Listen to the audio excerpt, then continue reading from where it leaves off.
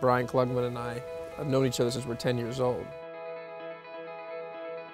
He was the first person I stayed with when I ever came out to LA and slept on his couch. And he wrote the script 11 years ago with Lee.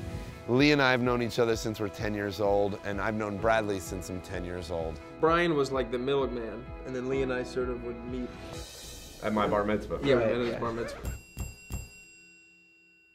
This has been a very long road for us. I remember going to a table read of it and thinking, what an amazing movie this will be that I'll never get to be in. Bradley always loved the script, and finally he got to a point where he could make a difference in getting the movie made. He got famous. No, not that, but No? yeah. Is that what it was? You said it was because you thought I was right for the role. Uh, He stuck by us and said he wanted to do it and attached himself to the movie. what attracted, I think, everybody to the project was the script that Brian and Lee wrote. And then these incredible actors just started coming onto the film. It's such a great script. By page 20, I wanted to do the movie, and I hadn't even gotten to my character yet. Bradley and I, we always talked about the thought of like how cool it would be for us to work together. And Brad is one of those creatures that he's a very dedicated and professional actor, but he's also a good human being.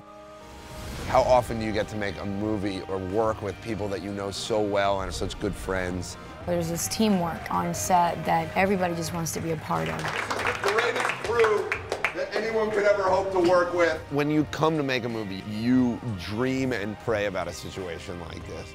It's just rare that movies like this are getting made. So, uh, I hope you enjoy like it. it. No, that was my line. Oh, sorry.